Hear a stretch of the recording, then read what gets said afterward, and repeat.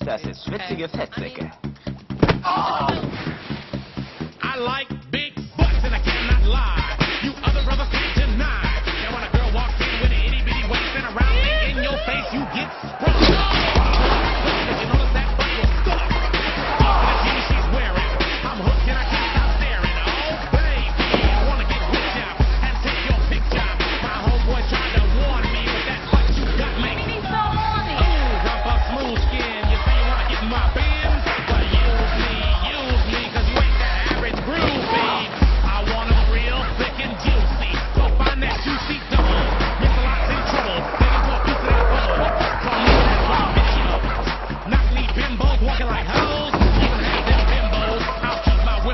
apologize.